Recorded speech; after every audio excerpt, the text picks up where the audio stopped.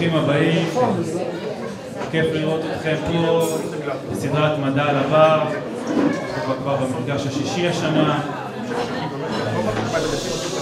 נבקש קצת שקט, אנחנו רוצים להתחיל. כולם שומעים? תודה רבה. תודה רבה, ברוכים הבאים. תודה רבה במסגרת קמפוס פתוח, יוזמה של נשיא האוניברסיטה פרופסור צבן. כיף לארח אתכם כאן. הערב נושא מרתק מאוד, האדם הביוני, ממשקים בין מוח למחשב. אנחנו שמחים שפרופסור יזהר ברגד איתנו כאן, הוא ראש המעבדה לממשקים עצביים במרכז הרב-תחומי לחקר המוח כאן באוניברסיטה. המחקר במעבדתו מתמקד בהבנת הפעילות העצבית במוח במצב נורמלי, בהפרעות מוטוריות ובטיפול בהפרעות אלו בעזרת יצירת ממשקים בין מערכת העצבים למערכת, למערכות ממוחשבות. פרופסור ברגד, בבקשה. אז ערב טוב לכולם. אנשים שמאחור יכולים לשמוע אותי? זה לא משנה שאתה שואל אותם, אבל ממילא הם לא שומעים אותם. האנשים מאחורה שומעים אותי? יופי. טוב, אז שלום לכולם, אני יזהר, ובאמת אני אדבר על, על איך, איך המוח יכול לדבר עם מחשב, ולמה זה טוב, ומה אפשר לעשות עם זה. אה, ואני אתחיל במדע בדיוני, אה, או לפחות בגרסה שלו, שהובילה אותי בילדותי לעסוק, או אחד מהגורמים שהובילה אותי לעסוק בתחום הזה. אה, וזה האיש הנחמד הזה, אני לא יודע כמה מכם זוכרים אותו, היה האיש השווה מיליונים, סטיב אוסטין.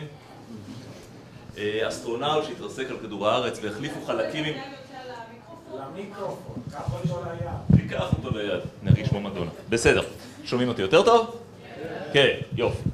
אז הקיצר, מה שקרה זה כשאני הייתי ילד, היה את סטיב אוסטין, והוא היה, כמו שאמרתי, אסטרונאוט. הוא התרסק לו על כדור הארץ, וכתוצאה מזה כמעט מת, ואיבד את עיניו, רגליו, ידיו וכולי. נשאר פחות או יותר מוחו, אבל וכתוצאה מזה החליפו חלקים ממנו בחלקים ביונים, ולא סתם החליפו, עשו אותם טובים יותר. הוא רץ יותר מהר, הוא ראה יותר רחוק, הוא שמע יותר טוב, הוא ידע לעשות הרבה דברים יותר טוב. הקונספט הזה המשיך ללוות את, את הוליווד, גם במסך הקטן, גם במסך הגדול, לאורך השנים, חווינו את המטריקס, את הרובוקופ, את תחייתו של הרובוקופ. הסוגיה של כיצד אפשר לקחת בן אדם ולהפוך אותו לטוב יותר, אחר, לשפר אותו, ליצור אדם על, העסיקה את הוליווד במשך שנים והעסיקה גם את הספרות וגם את האדם, אני חושב, הרבה מאוד אנשים במובן הרחב. בעולם האמיתי אנחנו היום עומדים במצב שבו בתחילת המאה ה-21 אנחנו כבר יודעים לעשות חלק, חלק קטן מהדברים האלה.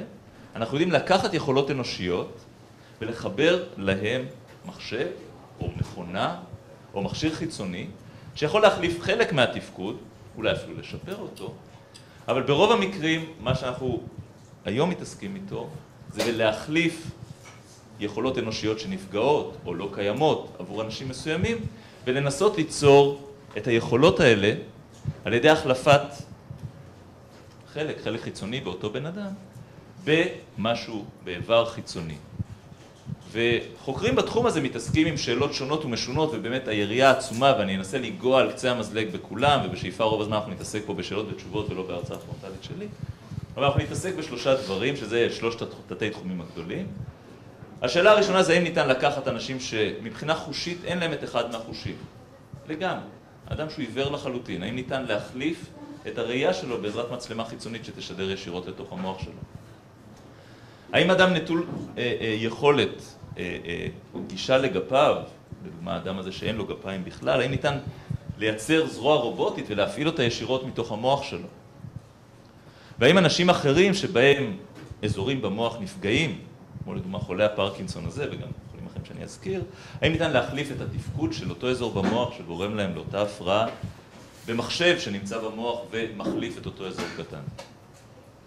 אז השאלות האלה הן שאלות קשות ואנחנו ננסה לגוע בהן ממש על קצה המזלג. תרגישו חופשי לשאול שאלות באמצע אם משהו לא מובן, אם משהו לא ברור. אבל בשאיפה ברוב השאלות אנחנו נטפל בסוף. אז נעשה חמש דקות של מבוא זריז למה זה חקר המוח. מי שרוצה יותר, יש תואר ראשון, שני, שלישי, הוא מוזמן להזמין לבלות עשר שנים מחייו במבוא קצת יותר ארוך למדעי המוח. אז בגדול למטרת ההרצאה הזאת, כל מה שהמוח שלנו יעשה הוא דבר פשוט, יש לנו את האדם שרוצה להרים את הכוס, אנחנו נחלק את זה לשלושה חלקים. אותו אדם, יש לו איזשהו אמצעי קלט שלו, איזשהו חוש, במקרה הזה חוש הראייה. החוש הזה מוביל את המידע למערכת העצבים המרכזית, למוח שלנו, שטוחן, טוחן, טוחן, טוחן את המידע, ובסוף עושה את הדבר היחיד שהמוח שלנו יודע לעשות. אתם יודעים שהמוח שלנו יודע לעשות רק דבר אחד? זה די מדהים. זאת אומרת, נדמה לנו שהוא עושה המון דברים, הוא עושה רק דבר אחד, הוא מזיז שרירים. זה הכל. כל מה שהמוח שלנו יודע לעשות זה לכווץ שריר ולשחרר את השריר. זה הכל. גם כל הדיבור שאני עושה, כל עבודת הפנים שלי, זה הכל בסך הכל שרירים שזזים. זה קצת יותר מורכב אולי כשאנחנו מנסים להסתכל על זיכרון ולמידה, אבל בגדול הביטוי של זה לעולם החיצוני של כל מה שאנחנו עושים הוא בסך הכל קיבוץ של שריר. אז אנחנו ננסה לדבר על שלושת הדברים האלה, על מהו קלט חושי, אה, מהו הפלט התנועתי, וקצת גם על מה שקורה בין לבין. אז אם מסתכלים בגדול על המוח ועל מה שקורה, אה, הגיבורים של הסיפור שלנו בתוך המוח הם תאי הצו, יש לנו הרבה מאוד כאלה, עשר בחזקת עשר בערך. אה, ותאי הצו אה, הם באים בכל מיני צורות, גוונים, מינים וכולי, מאוד מגוונים, אבל יש להם תכונה משותפת. הם כולם, יש להם את המבנה, או כמעט כולם יש את המבנה הזה. יש לנו איזשהו תא שהוא כמו כל שאר התאים שלנו בגוף, אבל יש לו גם דברים מיוחדים. יש לו את הזרועות הקטנות האלה, שנקראים דנדריטים, ובעזרתם הוא יכול לקבל קלט מניורונים אחרים, ויש לו את אותו צינור ארוך שבסופו יש עוד זרועות כאלה, שנקרא אקסון, שבעזרתו הוא יכול לשלוח את הפלט של מה שהוא עושה אל ניורונים אחרים. ובגדול כשאנחנו מדברים על מה ניורון יחיד עושה, אז בגדול זה דבר די פשוט.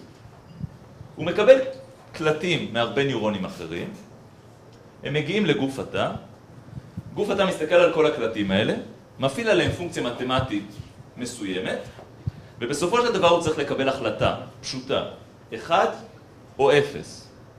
אני פועל או לא פועל. אם הוא מחליט שהוא, אם הוא מחליט שהוא לא פועל, לא עושה כלום.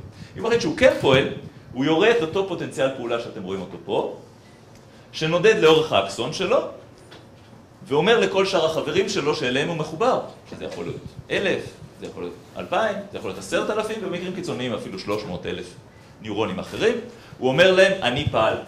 הניורונים האלה, מה שהם עושים בתורם, הם מקשיבים לכל שאר החברים שלהם, זה אמר יריתי, זה אמר אני לא יריתי וכולי, לוקח את כל הפעולות של כולם ומחליט בעצמו האם הוא יורה. אז בעצם כל ניורון, כל תעצב, אגב, כשאני אומר ניורון ותעצב אני הרבה ביניהם, אחד זה המונח הלועזי ואחד זה המונח העברי. אה, יש לנו בעצם, כל ניורון הוא מחשב מאוד מאוד פשוט, שיודע לבצע פונקציה אחת, אבל ההבדל בינו לבין אותם מחשבים שעובדים נורא מהר ונורא מורכב בבתים של רובנו, אה, זה שכולם עובדים ביחד כל הזמן. אין לנו מצב שמתבצעת פקודה אחת או חישוב אחד, אלא כל אותם עשר בעשירית ניורונים שנמצאים במוחנו, כל הזמן עושים את כל החישובים שלהם ומעבירים את המידע שלהם לכל אחד מהניורונים האחרים. אגב, הם עושים את זה נורא לאט. נורא נורא לאט. כולנו רגילים שהמחשבים שלנו בבית פועלים בגיגה הרץ, מיליארדי עיבודים בשנייה.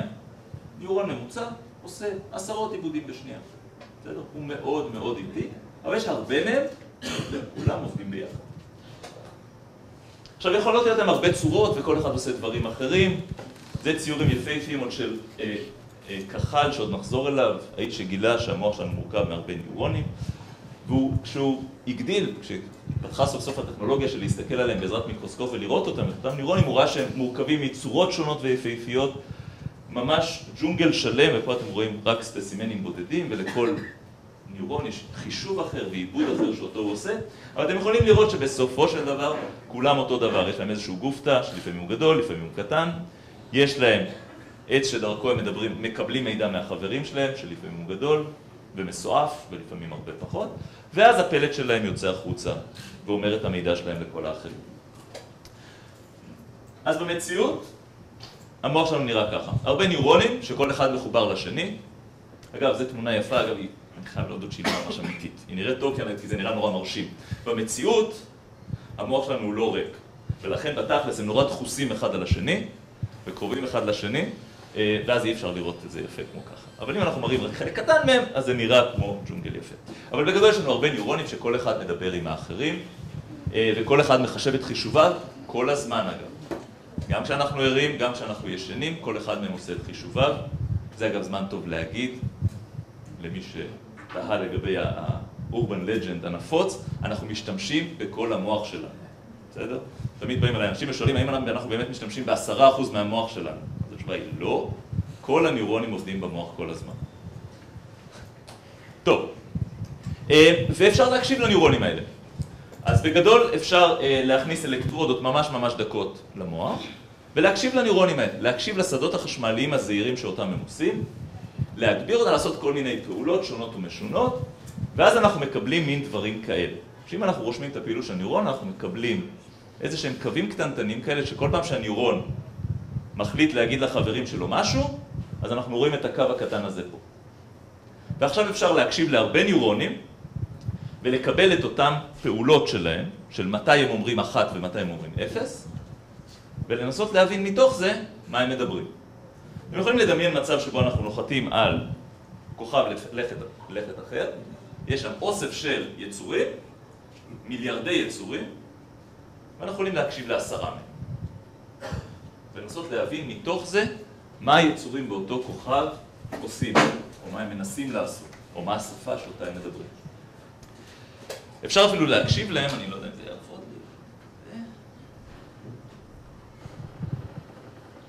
שומעים? רגע, ננסה שוב. שומעים את הקליקים האלה? יפה. אז אה, אפשר להקשיב לניורונים, אה, ומי שקצת מנוסה יודע אה, לזהות ניורונים. אז לדוגמה אני משתתף בניתוחי מוח בבני אדם, אולי נגיע לזה בהמשך, אבל אני משתתף בניתוחי מוח בבני אדם, שמשתילים להם אלקטרודות באזורים מסוימים במוח.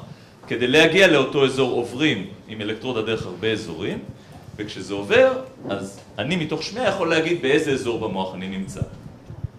עכשיו זה עדיין לא אומר שאני מבין אותם, זה קצת כמו אם אתם רוצים לדמיין אם יזרקו אתכם לחדר עם אנשים שמדברים איטלקית או סינית, אז אתם תדעו איפה מדברים איטלקית ואיפה מדברו, מדברים סינית, גם אם אתם לא מבינים אף מילה.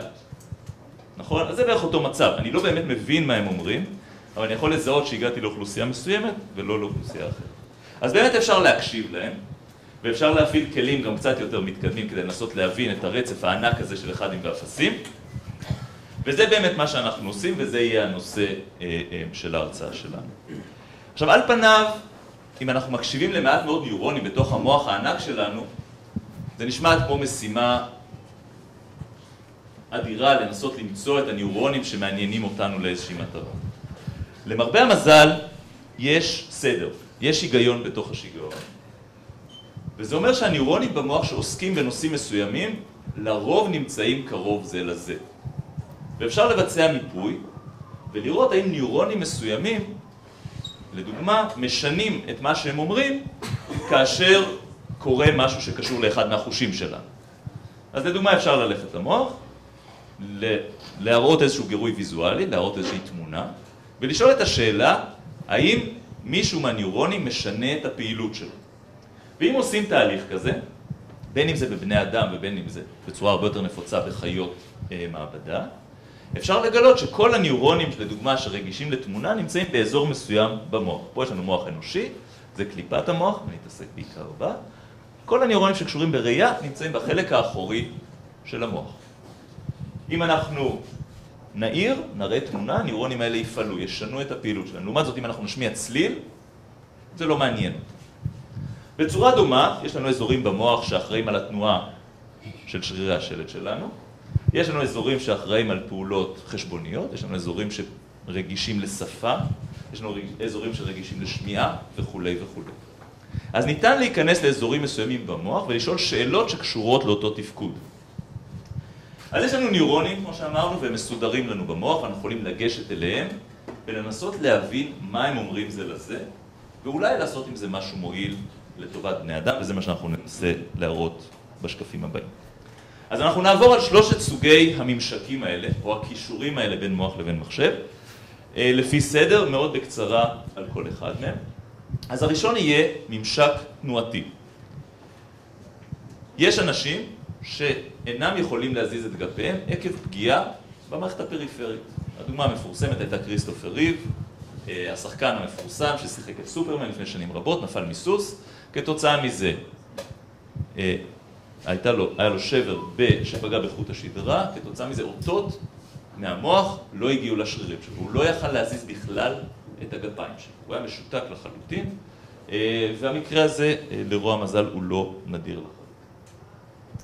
ואז נשאלת השאלה כיצד ניתן, עכשיו מצד שני, כשמסתכלים על אותו אדם שמשותק לחלוטין, הכל נמצא שם. הגפיים נמצאות, השרירים נמצאים, העצמות נמצאות, רק המידע לא עובר. ואז נשאלת השאלה כיצד אפשר להעביר את המידע הזה. אז מה שמשחק לטובתנו הוא אותו אזור במוח שנקרא המערכת המוטור, האזורים המוטוריים בקליפת המוח. אז שוב יש לנו את המוח שלנו ויש לנו פה תאים. התאים האלה אצל כולנו, הם תאים שיש להם אקסונים, אקסון זה האזור שמוליך את הפלט של אותו נירון, מאוד מאוד ארוכים, שיורדים דרך חוט השדרה ומגיעים עד לשרירים שלנו. ואפשר לדמיין את התאים האלה שנמצאים שם כמו, נקרא פפטיר באנגלית, מפעיל בובות. כאשר התא הזה עובד, השריר מתכווץ, וכאשר הוא לא עובד, השריר מתרפא. וכל שריר ניתן למפות אותו כל, סליחה, כל נירון ניתן למפות אותו לשריר, או ליתר דיוק כל אוסף של נירונים ניתן למפות אותם לשריר. ואז אפשר ללכת על אותו אזור תנועתי, שנמצא בערך במרכז המוח, וניתן לשאול את השאלה, כל אחד מהניורונים האלה, איזה שריר הוא מקודד. ואם עושים את זה, מגלים שיש סדר. הניורונים שקרובים לאמצע המוח, א', כל צד, כל המיספרה, המיספרה זה חצי מוח, מפעיל את השרירים שנמצאים בצד ההפוך של הגוף. בסדר? אז יש לנו איזשהו קרוס אובר בין צד לצד. אם אנחנו הולכים לניורונים שנמצאים באמצע, אז הם מזיזים את שרירי הרגל, וככל שאנחנו הולכים הצידה בצד, לצד של המוח, אנחנו מוצאים את האזורים שמפעילים את היד, את האצבעות, את הלשון, את השפתיים וכו'. אז עכשיו ניתן לשאול את השאלה, אוקיי, בוא נגיד שאני לוקח את כל הניורונים האלה ומנסה לצייר את האדם שאותו הם מפעילים, אז אני אקבל מין יצור מוזר כזה. אנחנו נראה נורא מוזר, יש לו רגליים נורא קטנות ואצבעות ענקיות אה, ושפתיים אדירות. למה זה ככה? נכון, אנחנו מכירים את כולנו, נגיד אני, יש לי רגליים קצת יותר גדולות מאשר האצבעות שלי, או השפתיים שלי.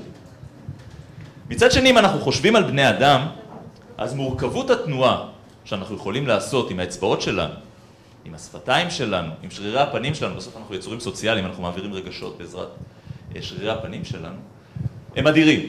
השליטה של המוח שלנו, כמות הניורונים, כמות תאי העצב שמוקצים לקודד את האצבעות שלנו, גדולה פי מאה מאשר את כל הרגל הענקית הזאת. בסופו של דבר הרגליים, אפילו אם אנחנו שחקני כדורגל, אפילו אם אנחנו אצנים, התנועה שלהם היא מאוד פשוטה. מורכבות התנועות שלהם היא פשוטה. ופה אנחנו מגיעים לנקודה מאוד חשובה במוח.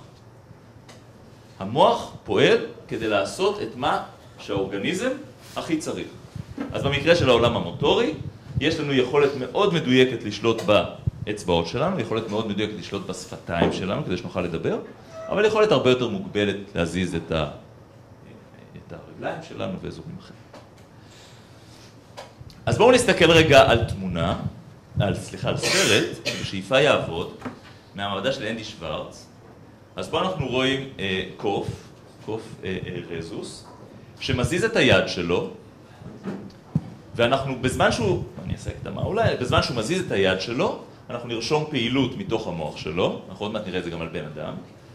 אה, בזמן שהוא מזיז את היד שלו באיזושהי תנועה, ואנחנו נקשיב לניורון יחיד, בסדר? אז מתוך מיליארדי התאים שיש לאותו אה, קוף במוח, מצאנו תא אחד שפעיל כאשר היד זזה. וכשהיא זזה אתם תראו שקורה משהו מאוד ספציפי. אז מה שאנחנו נעשה זה אנחנו נראה אותם, את הפעולות של הניורון שלנו פה על האוסילוסקופ, וגם נקשיב להם. אולי.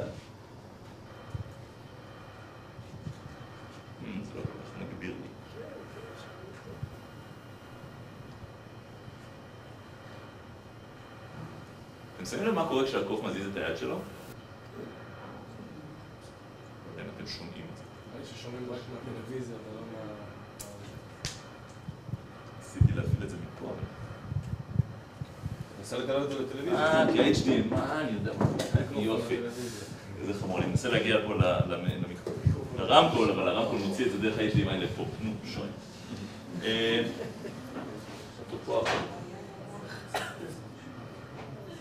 טוב, נו. אני מקווה שמי ששומע שומע, ומי שלא שומע רואה את כמות הקווים שיש לנו פה. בסדר? מה אנחנו רואים שהניורון הזה מקודד? מה הוא אומר? תנועות, איזה תנועות? הוא לא מקודד סתם. מה? סיבוביות. לא בדיוק. שימי לב שלפעמים הוא יורה מהר, יש הרבה קווים, ולפעמים הוא יורה לאט. אם תסתכלו על הקוף רגע, אז אולי תוכלו להגיד לי, נעשה את זה שוב, מתי הוא יורה מהר ומתי הוא יורה לאט. מזיז את היד למעלה וצריך לאמץ יותר שרירים. סיבוב. לסיבוב זה שומרים. שהוא למעלה. אוקיי, בתנועה מסוימת למעלה. נכון. הניורון הזה ספציפית, שאנחנו מקשיבים לו, מקודד את השריר עכשיו הזה, שבאמת דוחף את היד למעלה. לא בהכרח כי זה מצריך יותר אנרגיה, כי במקרה מצאנו ניורון שמקודד את התנועה הזאת. קשור לשריר הזה. אם היינו. במקרה נמצאים ליד ניורון שמפעיל את השריר הזה, אז הוא היה פעיל יותר בתנועה למטה כנראה. יופי. אז עכשיו אנחנו רואים את המפתח לבניית ממשק תנועתי. בואו נגיד שאיכשהו אנחנו יודעים למצוא הרבה ניורונים, 100 ניורונים. ואנחנו יודעים לעמוד ולהקשיב להם. אז עכשיו אני יכול לחבר את זה למחשב ולהגיד למחשב, בסדר, כשהניורון הזה פעיל, יורה הרבה, אז תזיז את הזרוע הרובוטית למעלה. ואם יש לי ניורון אחר שמקודד את התנועה שמאלה, אז תזיז את הזרוע הרובוטית שמאלה. אז עכשיו על ידי הקשבה למספר קטן של ניורונים, אפשר להזיז זרוע רובוטית ברמת דיוק מאוד גבוהה ולהגיע לכל מטרה במרחב תלת-ממדי. אז היו ניסויים באמת שהיו לפני 15 שנה, הם התחילו באמת אה, אה, בקופים. אה, רוב הניסויים אגב במעבדות הם כמובן לא קופים, הם בחיות ירודות הרבה יותר, אבל במקרה של תנועות עם גפיים, אז אין ברירה אלא לעבוד עם קופים, כי אין יצורים אחרים בעלי שליטה כזאת. וה- והעבודות האלה הובילו ישירות למה שאתם רואים פה. אז הדבר שנראה פה נורא מפחיד, הוא לא נורא מפחיד, הוא בעצם נורא קטן, אתם יכולים לראות אותו על מטבע של סנט. משתילים אותו במוח, זה בעצם מערך של הרבה מאוד אלקטרודות. כל אלקטרודה כזאת נמצאת ליד מספר ניורונים ומקליטה את הפעילות שלהם, ככה שסך הכל אנחנו יכולים להקשיב לסדר גודל של בין 500 ל-1000 ניורונים בו זמנית. אתם יכולים לראות את הצ'יפ הזה מושתל פה במוח, בסדר? הדבר הקטנצ'יק הזה. יושב פה אדם שהוא משותק לחלוטין, וזה היו הניסויים הראשונים שעשו, לפני שבע שנים אני חושב, אה, והוא מזיז את הקרסור על גבי המסך, אותו אדם לא יכול להזיז אף שריר בגופו, ובכוח המחשבה לחלוטין הוא מזיז את אותו קרסור על המסך, באותו זמן זה אפשר לו, זה בעצם, השתמשו בזה כדי שהוא יוכל לאיית את מה שהוא רוצה כלפי חוץ. פה אנחנו יכולים לראות מחקר, זה ממש משנה שעברה, ש- שנה וחצי כבר, זה שני הראשונים שהושתלו בצ'יפים שמאפשרים להם להזיז זרועות רובוטיות, אה, ופה יש שני בני אדם שאין להם, במקרה הזה אין לה שום שליטה על אף איבר בגוף שלה, במקרה הזה אה, רק על הגפיים העליונות, וניתן לראות שהם מסוגלים כיום לתפקד בעזרת רובוט שנשלט באופן מוחלט על ידי המוח שלהם, בלי שום תנועה של שום שריר היקפי. אז זה ממשק תנועתי, והוא באמת היום נכנס לשלב הניסויים הקליניים, ומתקרבים למצב שבו אפשר לשלוט היום על זרועות רובוטיות. יכולים לראות שזה זרועות רובוטיות מורכבות, אנחנו אה, שולטים פה על מספר מפרקים, על תנועה של האצבעות, ויש שם התקדמות מאוד גדולה בשנים האחרונות. אז זה הצד המוטורי, והוא עדיין נמצא בעולם של ניסויים קליניים. ממנו אני רוצה לעבור דווקא למשהו שכבר הוא סיפור ההצלחה הראשון, אולי הכי גדול, אה, של ממשק בין מוח לבין מחשב. אה, וזה ממשק שמאפשר שמיעה לחרשים. רובכם, גם אם אתם לא יודעים, ראיתם כבר אנשים שמסתובבים עם מחשב בתוך מוחם. יש הרבה כאלה, יש אה, מאות רבות, אני חושב שאולי אפילו אלפים כיום בישראל, מאות אלפים בעולם. אז בואו נדבר רגע על שמיעה. אה, אז הבעיה, הבעיה שאנחנו ננסה לטפל בה זה כמובן אה, אנשים שנולדים עם חרשות מלאה. אה, ו- אבל לפני זה אנחנו רוצים להסביר רגע מה זה לשמוע. אז אה, לשמוע, אז אה, בגדול, זה מה שקורה זה שיש גלי קול. גלי קול יוצרים זה בעצם תנודות באוויר, האוויר זז. מספר התנודות או הקצב שיש לנו את התזוזות האלה יקבע את הצליל שאותו אנחנו שומעים. אם אנחנו שומעים גל שזז, מתנדנד לאט, אז יישמע לנו כצליל נמוך. במקרה הזה 500 תנודות לשנייה נשמע כך. לעומת זאת 2,000 תנודות לשנייה יישמע לנו כצליל גבוה. יכלתם אולי כן או לא לשמוע. מה שיש לנו אה, במערכת הפריפרית שלנו, באוזן התיכונה, היא מערכת מופלאה שיודעת להפוך את גלי הקול האלה לאותות חשמליים שמגיעים למוח שלנו. אז יש לנו פה את השבלול, אה, יש לנו את מערכת הסט של שלוש עצמות שהן הקטנות ביותר, שמזיזות את החלון, את הממברנה, שנקראת במור הטוב, אה, שאפשר לראות אותה פה, אז אנחנו נגדיל את זה, יש לנו פה שלוש עצמות קטנטנות שמזיזות את הממברנה, שמזיזות בעצם את הצינור שנמצא לנו בתוך אותו שבלול. אז יש לנו את השבלול שנמצא במוח, ולא יודע כמה מכם שיחקו בחבל, או קשרו פעם חבל לקיר וניסו להזיז אותו, אפשר ליצור בו כל מיני גלים. ניסיתם את זה פעם? אז בתלות בקצב שאתה מזיז את היד, אתה יוצר גלים שונים ומשונים באותו חבל. זה בדיוק אותו רעיון, למרות שיש פה כמה פיזיקאים שאולי ירביצו לי, זה לא בדיוק אותו דבר, אבל בקירוב טוב זה בערך אותו דבר, ואנחנו יכולים לראות שאפשר לדמיין את זה בתור חבל שקשור לקצה של השבלול. יש לנו את העצמות שבתלות בגלי הקול גורמות לתנודות בקצה של החבל, והחבל רועד. אבל יש לו תכונות נפלאות. כאשר מגיע אליו צליל נמוך, גלים שזזים לאט, זז אזור מרוחק בחבל. לעומת זאת, כאשר הצליל שלנו הוא צליל מהיר, הוא צליל בתדר גבוה, סליחה, אה, אז יזוז אזור אחר בתוך אותו חבל. וכאשר יש לנו צליל מורכב כמו הדיבור שלי, אז אזורים שונים באותו החבל ירטטו. אז יש לנו פה מנגנון מכני שיודע לקחת גלי קול ולפרק אותם לאוסף של תזוזות באותו חבל. אז עד כאן חלק פשוט ומכני. עכשיו השאלה זה מה קורה מתחת. אז מתחת לזה גם יש דבר חשוב וזה תאי שערה.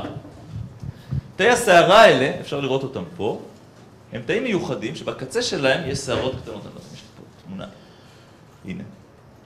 בסדר, הם מחוברים לאותו חוט, אפשר לראות אותם פה, אתם רואים את השערות הקטנות האלה?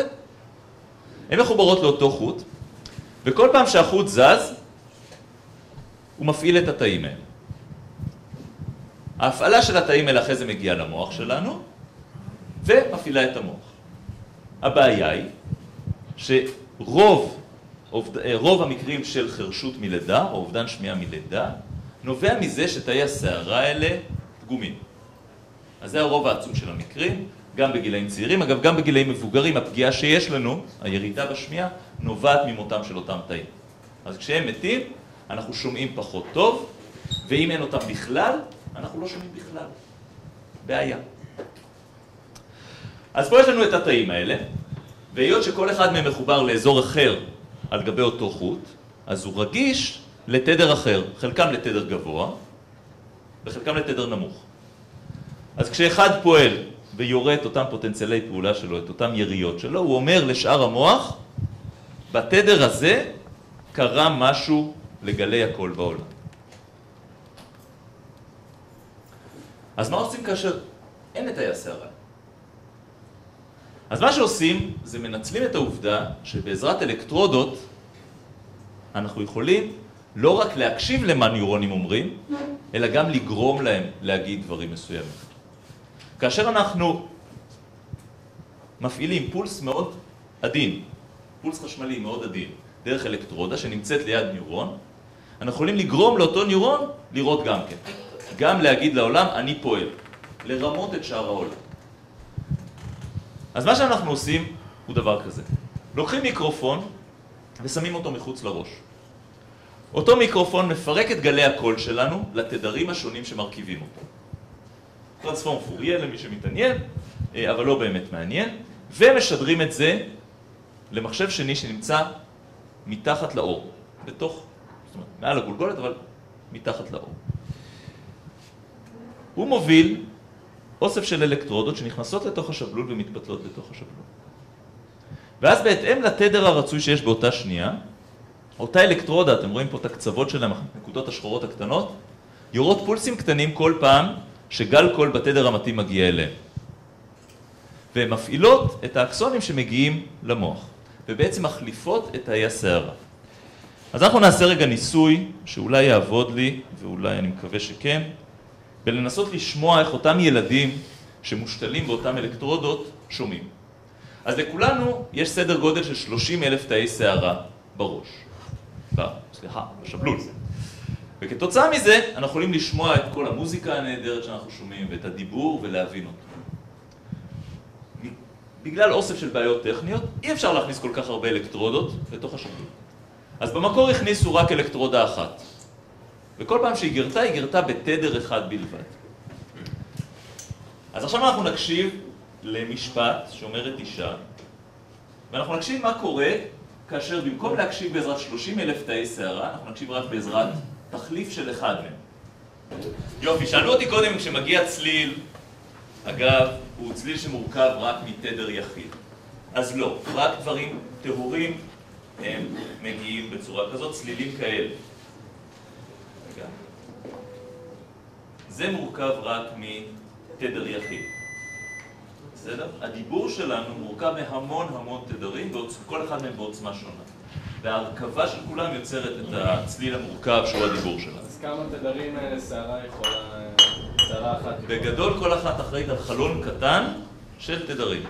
והזיהוי דיבור בעצם הוא על ידי הרכבה של כל אותן פעולות של כל אותם תאי שערה. אבל בואו נגיד שבאמת יש לנו רק אחד. כל תאי השערה עובדים אותו דבר. אז באמת שומעים מין משהו שהוא נשמע לנו קצת לא מאוד מועיל. אם אנחנו עוברים כבר להפעלה של שניים, נשמע כבר קצת יותר טוב. אחרי מספיק, אה, אחרי מספיק אימון, אז אפשר בעזרת ארבעה לזהות מה אומרים פה. אני אתן לכם אבל שמונה.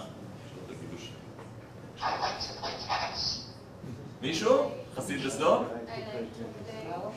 או, נו, יופי. I like to play tennis. I like to play tennis. באמת ב-16 ערוצים. בסדר? זה בעזרת 16 ערוצים.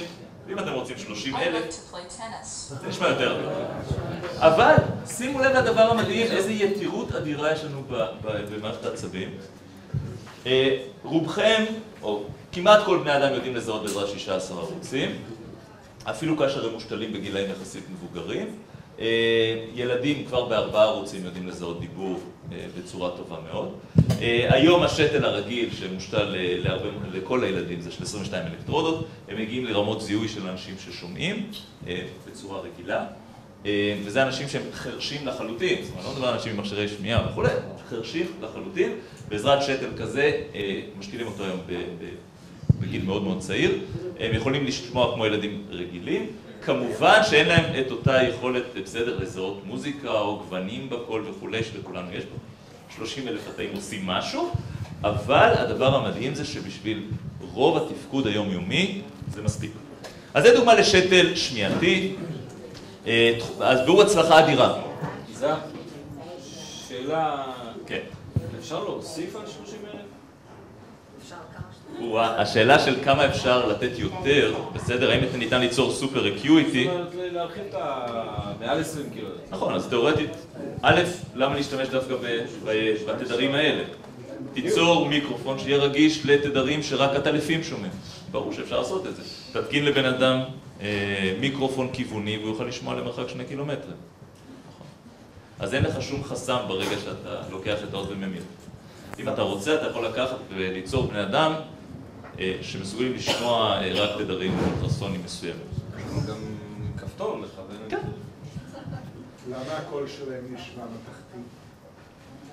זה נובע, זה נובע בין השאר בגלל הסיבות האלה, הם לא, מה שאנחנו, הסיבה, אנחנו רגילים, הביטוי שלנו קול מתכתי נובע בדיוק מזה, מזה שאנחנו רגילים שהמכונות הישנות פעם, מה שאנחנו קראנו להם קול מתכתי, הם מורכבים ממעט מאוד תדרים.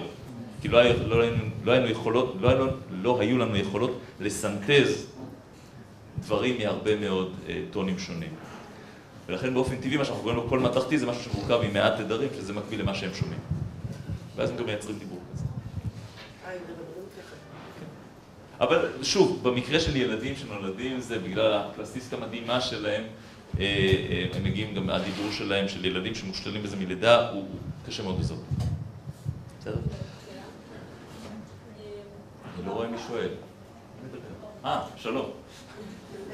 כן. אה, דיברת, אני כרגע על בן אדם בריא, דיברת אה, על הגל, גל אנלוגי שמתקבל, ולמעשה, איך שאני מבינה את זה, המוח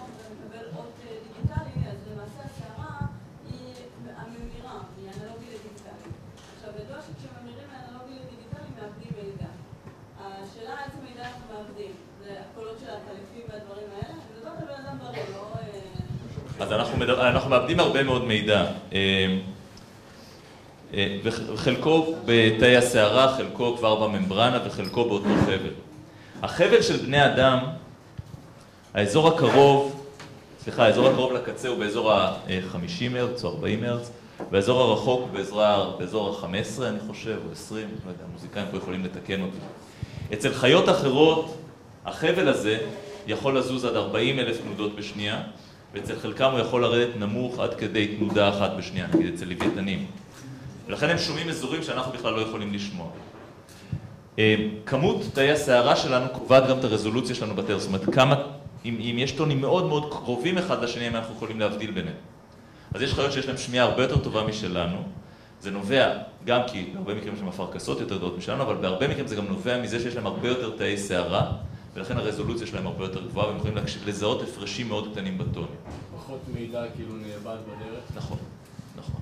העניין הזה של מידע הוא נושא קריטי, בסדר? איך הופכים את העולם שנמצא מסביבנו, שמכיל הרבה מאוד מידע, איך אנחנו מאבדים, מנסים לאבד מה שפחות ממנו עם א' ולעבד מה שיותר ממנו עם עין. ובעולם השמיעה, אז ראינו שאם יורדים מ-30 אלף ל-22, המצב מצוין.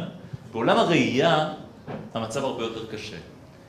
כי בעולם, בעולם הראייתי, אז נגיד התמונה הזאת, אה, אני לא יודע אפילו אם היא HD או 4K או מה שהיא, מכילה מיליוני פיקסלים. יש פה בעצם מיליוני נקודות ששונות אחת מהשנייה. אנחנו בעזרת הראייה שלנו מסוגלים, בעצם אנחנו רגישים לעשרות מיליוני, אם לא מאות מיליוני נקודות שונות במרחב. אז עכשיו יש לנו בעיה, במקום 30 אלף נקודות, יש לנו מאות מיליוני נקודות. מה עושים? ובאמת יש לנו בעיה. בגדול אפשר לנקוט באותה שיטה. לוקחים מצלמה חיצונית, כמו באותו אדם עיוור, זה מ, אני חושב מ-MIT. המצלמה לוקחת את העולם הוויזואלי, לוקחת את האור שמגיע, את הפוטונים שפוגעים במצלמה הזאת, הופכות את זה לפולסים חשמליים. את הפולסים החשמליים האלה אפשר להעביר לאלקטרודות שמושתלות פשוט באזורים ויזואליים, או על הרשתית עצמה, או באזורים בקליפת המוח. יש כמה גישות. הבעיה שבגלל המגבלות של הגודל של האלקטרוניקה שאנחנו יודעים ליצור, אי אפשר להכניס יותר ממאות בודדות של אלקטרודות. עכשיו תבינו שמאות בודדות של אלקטרודות בעולם השמיעתי זה דבר מדהים. בעולם הוויזואלי זה נורא מעט. תחשבו שבסופו של דבר 100 אלקטרודות זה 10 על 10. פה יש לנו 400 אלקטרודות שזה בערך המקסימום שאפשר לעשות, זה בערך 20 על 20 נקודות. וגם אז אנחנו היום לא יודעים להגיע, להעביר בדיוק את רמת האילומינציה המדויקת, ולכן בעצם יש לנו או שחור או לבן. אז פה אתם רואים את המקבילה של מה אדם שמסתובב בחדר רואה. אז זה הרמה שאנחנו עומדים בה, היום כבר קצת יותר, זה אולי מלפני שנה, שנתיים כמעט, אבל זה המצב הטוב ביותר שאנחנו עומדים בו, כיום. האם זה מספיק טוב כדי שאפשר יהיה לראות? אז גם פה התשובה היא תלוי. יש את התמונות המפורסמות של אה, אה, ילד שמנווט בתוך בניין שהוא עיוור לחלוטין, בעצם אין לו, אין לו יכולת ראייה בכלל, הוא מפריע לנווט בתוך הבית. כי באמת לזהות מה דבר כמו דלת או חדר אפשרי. מעבר לזה, האם זה מקרב אותנו למצב נורמלי? לא בדיוק, בסדר? אבל המגבלות הן טכנולוגיות, אה, וגם יש לנו מגבלות של הבנה של הקידוד העצמי שם, אבל בגדול אה, אתם יכולים לראות את הכיוון. אתם יכולים לראות מה קורה כשאנחנו מאבדים עם א' יותר ויותר מידע, מה קורה לאותו פרצוף בעצם שבו יש לנו מיליוני נקודות וכל אחת מהן יש לה סדר גודל של מיליון גוונים אפשריים. מה קורה כשאנחנו יורדים במספר הנקודות ועוברים לגוונים של אפור, ומה קורה כשאנחנו יורדים לעוד פחות נקודות ועוברים לשחור ולבן. העסק נהיה פחות ופחות ברור, וזה האתגרים שאנחנו עומדים בהם בתחומים האלה. אני רוצה לציין שיש היום ממשקים שונים ומשונים אה, לתחומים של חושים אחרים גם. אה, חושים שמחליפים את חוש המישוש, חושי טעם, ריח וכולי. כדאי לשים לב שבגדול, לשאלה שלך אנחנו גם לא מוגבלים בזה. תאורטית, אם אתה רוצה לייצר חוש חדש, אין לך שום בעיה לעשות אותו ולהעביר אותו לאיזשהו נירון שילמד לעבוד איתו. לדוגמה, אם היינו רוצים שכמו כרישים יהיה לנו אה, חישה לשדות חשמליים במים, אז אפשר לייצר את זה. אתה שם סנסור ומשדר את זה למוח. אז גם פה, אם רוצים, אפשר לייצר הרבה מעבר ליכולות החישה הטבעיות שלנו. אה, וואו, טוב. אני רק אדבר בשתי דקות על, אה, על תחום שהוא באמת, למען האמת, מה שרוב הזמן אני כן עושה, אה, והוא איך מטפלים במחלות שונות. אז ישנן מחלות שבהן יש לנו, אז השאלה של כיצד ניתן להשתמש בגלים חשמליים כדי לשנות מחלות, זכה להרבה מאוד תשומת לב לאורך השנים. הדוגמה העתיקה ביותר הוא ECT, טיפול בשוק חשמלי, למרות שצריך לקרוא לזה נזח חשמלי, אבל זה נקרא שוק חשמלי. אה, לוקחים בני אדם בהפרעות שונות ומשונות, בעיקר בדיכאון, זו דוגמה קלאסית, דיכאון קיצוני, מחברים להם 600 וולט, נותנים פולס אדיר, והדבר המדהים, זה עובד. עכשיו, כל מי שראה קן הקוקייה, מישהו ראה קן הקוקייה? סרט מדהים, בסדר? בספר מדהים עוד יותר. אה, אה, כשהוא יצא לאקרנים, מראים שם את הטיפול בשוק חשמלי כזה, וזה מזעזע, גם ג'ק ניקולס הוא שחקן מדהים, אז בכלל זה, זה, זה משפיע מאוד. בעקבות הסרט הזה ואחרים בארצות הברית הורידו את הטיפול בשוק חשמלי. במשך עשור, כמות ההתאבדויות שם עלו במשהו כמו 50 אחוז. זה מטורף. החזירו את הטיפול. הדבר המדהים זה שאין לנו שום מושג למה זה עובד. אפשר לדמיין את זה כמין reset ענקי למוח. למה זה עובד? אין לנו מושג. למה לפעמים זה עובד ולפעמים לא? אין לנו מושג. אה, על מה זה משפיע? לא יודעים. אה, אבל עכשיו נשאלת השאלה בסדר, אז במקום לטפל בבני אדם בעזרת פטיש 60 קילו, האם אפשר לעשות משהו יותר עדין? אה, וזה באמת מה שאנחנו מנסים, אני ספציפית מתעסק בתחום שנקרא Deep Brain Stimulation. בוש, Deep Brain Stimulation, גירוי מוח עמוק, אה, ושם השאלה זה האם ניתן ללכת לאזורים עמוקים במוח שבהם נפגעו ניורונים, ולהחליף את התפקוד של אותם ניורונים בעזרת אלקטרודות שנמצאות שם, שמופעלות על ידי מחשב שנמצא בבית החזה של אותו חולה. אה, ואז, ב... ואז מה שאנחנו עושים זה מכניסים לאותו אזור במוח אלקטרודה, מבצעים את הניתוח הזה כשהחולה עדיין ער, הוא חייב להיות ער, כי אחרת אנחנו לא יכולים לזהות את הניורונים הספציפיים שאנחנו רוצים לשנות את הפעילות שלהם. אה, ואז נכנסים, מקשיבים תוך כדי לפעילות שלהם, רואים את זה, ואז משאירים שם אלקטרודה, או אלקטרודות לרוב, מספר רב של אלקטרודות, ובעזרתם אנחנו מווסתים את הפעילות של אותם ניורונים. אני אראה לכם שתי דוגמאות, אחת ממחלת פרקינסון, ואחת, אם לא אותה, מטורט. אז בואו נראה אה, אה, חולה אה, במחלת פרקינסון, אני מניח שרבים מכם שמעו על זה, מחלה שמאופיינת בתנועה איטית, בעיקר בגילאים המבוגרים, למרות שיש יוצאי דופן, תנועות מאוד איטיות, רעד בגפיים, אה, אובדן של יציבות, פה אנחנו רואים חולה מאוד מאוד טיפוסי, הצעדים מאוד קטנים, אה, ירידה בדיבור. פה אנחנו רואים את אותו חולה לאחר השתלה של אלקטרודות אה, במוחו. בסדר? אז מה שיש לנו שם זה מוות. הדבר המדהים זה שבמחלת הפרקינסון, לפחות בשלביה הראשונים, המוח כולו תקין. מה שיש זה פגיעה במספר מאוד קטן של ניורונים שנמצאים באזור מאוד קטן במוח, סבסטן של נייגרה פרסקופט, למי שמתעניין, וכאשר הם מתים, הפגיעה בתפקוד המוטורי, גם באחרים, אבל בעיקר בתפקוד המוטורי, היא קיצונית. היות שזה מספר קטן של תאים ואנחנו מבינים את התפקוד שלהם פחות או יותר, ניתן להחליף את התפקוד שלהם במחשב, וזה מה שעושים, ופה אתם רואים את התוצאה. אה, בואו נראה דוגמה אחרת, שזה כיום אה, ה baby שלי, זה סינדרום טורט. אה, רוב האנשים שמכירים טורט מכירים את זה בעיקר מהוליווד, אנשים מקללים, צועקים, אבל זה בסך הכל רק עשרה אחוז מה, מהסובלים מהסינדרום. סינדרום מאוד נפוץ, בעיקר מתחיל אצל ילדים, לרוב בגילאי 4, 5, 6, אצל רובם זה דועך לקראת גיל 18, מופיין בטיקים מוטוריים, תנועות מוטוריות שהם לא שולטים עליהם, לפעמים גם ווקליזציות שהם לא שולטים עליהם, ובאמת במקרים המפורסמים זה מקרים של קללות, קורפולליה יש להם, בערך לעשרה אחוז יש מקרים של קללות, דברים שהם איסורים מאוד חמורים באותה חברה. דוגמה מפורסמת שאני מפרסם, פגשתי בחורה גרמניה, אני עובד עכשיו הרבה על טורט, אז פגשתי בחורה גרמניה בת 25, כמו שאומרים שמאלנית טבעי טוב, זה לא הפריע לה פעם בחמש דקות לצעוק היי ליטלר ולעבור למועל יד, ובאמת אם אנחנו מדברים על דרום ארצות הברית זה לרוב הם יצעקו ניגר וכולי, זה כמעט תמיד יהיו תחת האיסורים הגדולים ביותר באותה חברה. אה, אבל אנחנו נראה דוגמה למטופל כזה, שוב לפני ניתוח ואחרי ניתוח. אפשר לשמוע אותו, יש לו צלילים נביחה, אתם יכולים לראות שיש לו טיקים מאוד חמורים ביד, בסך הכל מבקשים שהוא יחזיק את היד שלו ויבצע בדיקה נוירולוגית רגילה, אתם יכולים לראות את הטיקים, תכף אנחנו נראה אותם גם בהליכה שלו. אולי. כל התנועות של כל שאר הגפיים אינן רצויות, בסדר הוא מנסה לעשות תנועות פשוטות, פה אנחנו רואים חולה שיש באזור הגיל ה-20.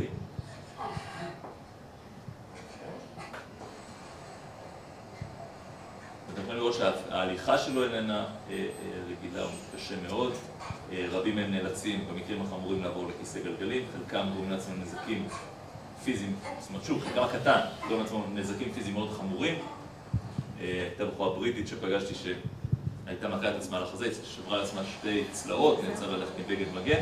פה אנחנו רואים את אותו חולה לאחר טיפול. הלוואי שהייתי יכול להגיד שכל המקרים מוצלחים כמו זה. זאת אומרת שאין הצלחה מאה אחוז? שנייה, אז אה, להגיד שאנחנו יודעים לחלוטין מה אנחנו עושים זה יהיה אמירה מאוד אופטימית. בפרקינסון, בפרקינסון רגיל, שאינם שאיננו עם אה, תופעות אחרות, אחוזי השיפור הם קרובים ל-100, זאת אומרת 100% מהאנשים, מצבם, הוא קרוב ל-100% מהאנשים, מצבם משתפר. אה, אצל חלקם השיפור הוא קיצוני, הם מגיעים למצב כמעט נורמלי, אצל חלקם פחות. יש היום מאות אלפי מושתלים בעולם, אלפים בודדים, באזור האלף ומשהו בישראל. לא, לא יודע אם הגענו לאלפיים. משתילים אלקטרודות אה, בשני אזורים, בסרטלמיק נוקלוס ובגלובוס פלידוס, ודרכם מפעילים את הניורונים באותו אזור, גורמים להם לפעול בדפוס מסוים. לשאלה למה דפוס מסוים ובאיזה סדר, שאלה מסובכת, אבל מפעילים אותם בצורה מסוימת. להגיד שזה היה מנגנון הרבה יותר מושכל מניסוי וטעייה בהתחלה, זה יהיה אמירה לא נכונה. אבל בגדול בפרקינסון זה עוזר באופן מוחלט. כמה אלקטרודות? אה, בגדול זה, יש ארבע אלקטרודות בסך הכל. לרוב מפעילים אבל רק שתיים. בארץ משתילים, בהדסה עין כרם משתילים, אה, באופן ספורדי גם משתילים. גם באיכילוב משתילים קצת, וגם היו כמה שיותר שם, אבל המרכז המסיבי הוא אה, בהדסה עין כרם. לא, לא, לא. אז אה, עוד שהייתי סטודנט זה הייתי מעורב ב- בדברים שהיו באמת תחת אה, ביטוחים פרטיים, זה כיום בסל התרופות.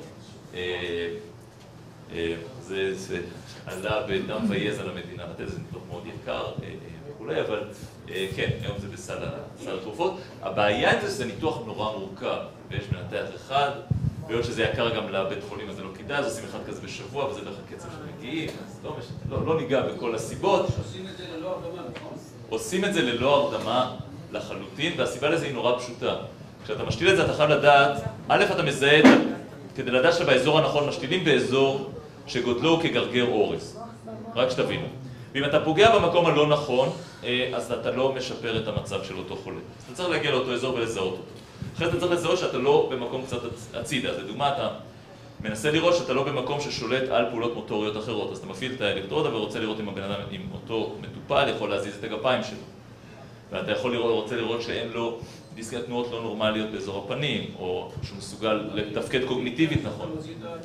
ה- ה- שנייה רגע, מה שקורה כשמשתילים באזורים לא נכונים, אגב, הוא מרתק בפני עצמו, אני לא נכנס אליו בכלל, למרות שהוא מרתק זאת אומרת, היה לנו חולה שנכנסנו קצת הצידה, כל פעם שהפעלנו את האלקטרודה, היא חשבה שהיא בת אה, שש או שבע, התחילה לדבר ביידיש אלינו, ואימא אימא, היו לנו חולים ששמעו נגינות, שמעו אה, צליל, שמעו מנגינות מסוימות, היו כאלה שממש בסוויץ' של הפעלה של האלקטרודה עברו למצב דיכאון חמור, זאת אומרת בכי, רעיונות התאבדותיים, היו כאלה שלא הפסיקו לצחקק.